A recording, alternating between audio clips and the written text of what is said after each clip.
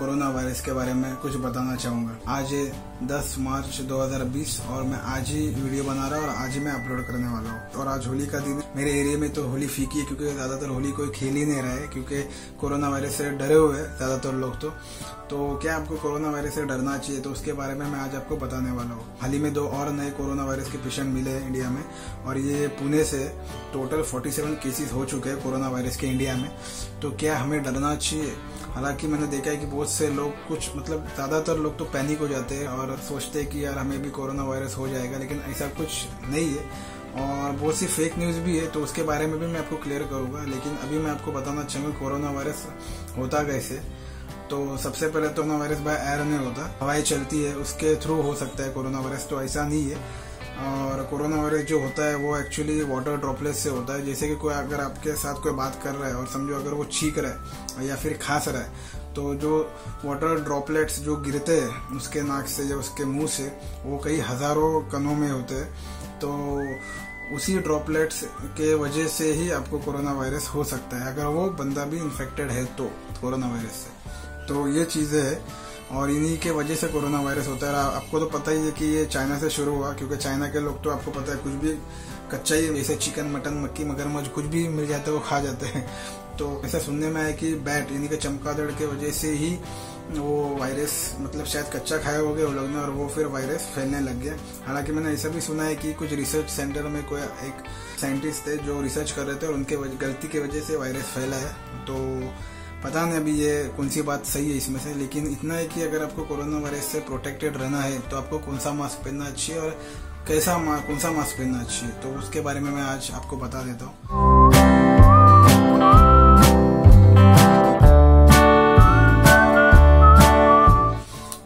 Type के mask आते हैं। एक तो आते हैं N95 और N99 95 और 99 जो नंबर है, वो एक्चुअली फ़िल्टर एफिशिएंसी लेवल का नंबर है। यानी अगर आप N95 का मास्क पहनते हो तो अच्छी बात है।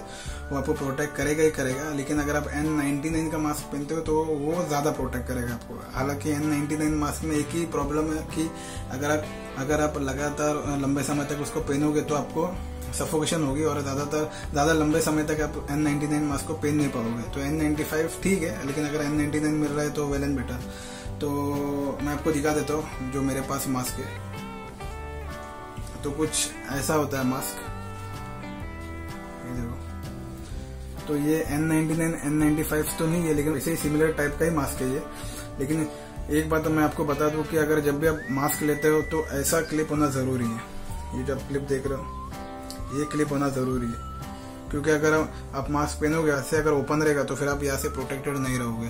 तो फिर वो मतलब ही नहीं बनता है मास्क पहनने का। अगर आपने ऐसा कुछ मास्क खरीदा है तो आप एक ऐसा क्लिप ले सकते हो। ज़्यादातर मास्क में तो ऐसे क्लिप आ जाते हैं, लेकिन अगर आपके मास्क में क्लिप नहीं है तो एक स्नोरिंग क्लिप आती है, वो आप लगा सकते हो यहाँ पर मास्क के ऊपर, और फिर वो बंद हो जाएगा पैक हो जाएगा। तो आप फुल्ली प्रोटेक्टेड हो जाओगे। तो ऐसा मास्क आप खरीदिए, ये मास्क बेस्ट है। और अफवाह के बारे में बात करते हैं।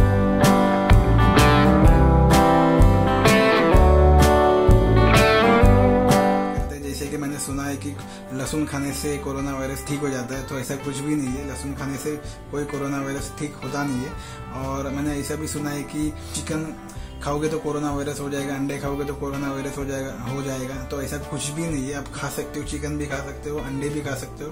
ये कंफर्म नहीं हुआ है कि इसके वजह से कोरोना वायरस होता है तो ये बिल्कुल फेक न्यूज़ है। तो इसके बारे में आप सुनिए ही मत, और एक चीज़ है जो मैंने सुनी है कि चाइना से जो भी इम्पोर्ट हो रहा है सामान तो उसके थ्रू भी कोरोना वायरस आपको लग सकता है। हालाँकि पॉसिबल है ही नहीं, क्योंकि जो वहाँ से जो सामान इम्पोर्ट होकर आता है, वो उसको आते आते ही इतना टाइम लग जाता है कि उतना टाइम तक तो कोरोना वायरस सर्वाइव कर ही नहीं पाएगा, उस प्लास्टिक पर भी। उस बॉक्स पर भी या उस प्लास्टिक पर भी।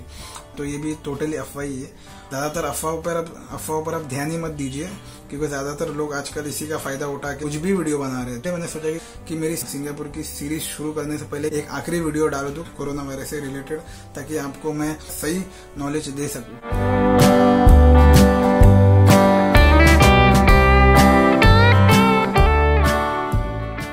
अगर सब मान लीजिए अगर आपको कोरोना वायरस है तो पता कैसे चलेगा?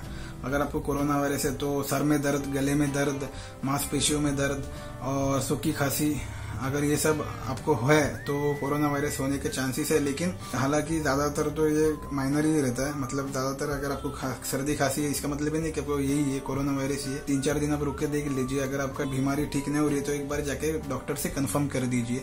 लेकिन हमारे इंडिया में तो इतना कुछ है नहीं कोरोना वायरस से रिलेटेड हालाँकि 47 केसेस तो आ चुके हैं और ये नंबर शायद थोड़ा और ऊपर जाएगा ही लेकिन घबराने की ज़रूरत नहीं है। और सच कहो तो मास्क हमें पहनने की ज़रूरत ही नहीं है।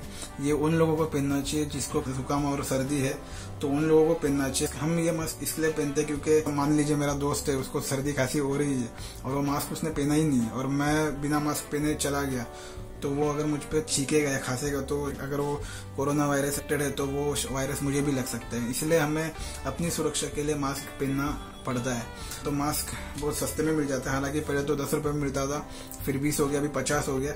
और अब जाकर एक सौ, मैंने शायद एक सौ रुपये में लेता और अभी हाल ही में एक सौ बीस रुपये में बिक रहा है। और बहुत सी जगह पे तो मास्क ही नहीं है। और मैं कल ही अपने एरिया में जितने भी मेडिकल स्टोर है, यहाँ तक कि मैं मॉल में भी जाके आया हूँ, लेकिन वहाँ पे हैंड सैनिटाइजर तो है ही नहीं। जितने भी मेडिकल स्टोर में मैंने पूछा, सबने कहा कि आउट ऑफ़ स्टॉक है। अभी ये बात सच है कि नहीं तो मुझे नहीं पता। लेकिन इतना तो सुना है मैंने कि मास्क भी ब्लैक में बेच रहे लोग, ज़्यादा महँगे में बेच रहे लोग, क्योंकि गलत बात है, ऐसा होना नहीं चाहिए।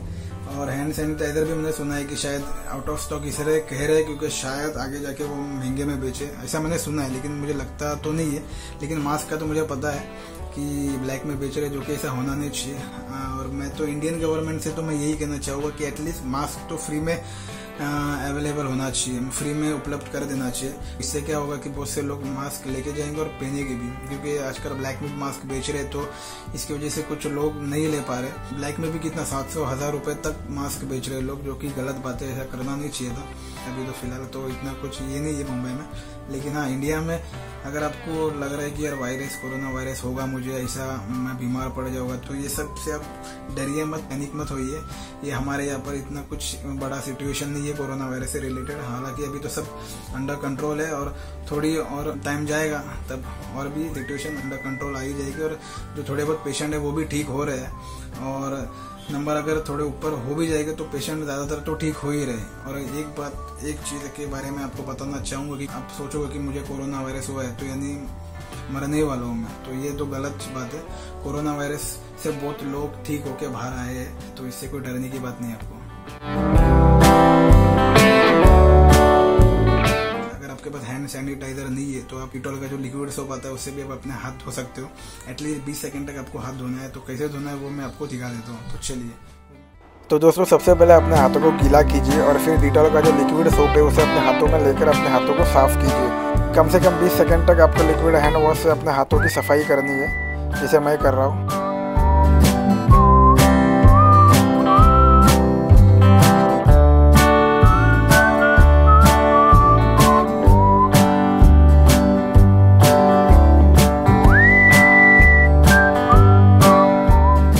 बीस सेकंड तक साफ़ करने के बाद अपने हाथों को पानी से धो दीजिए।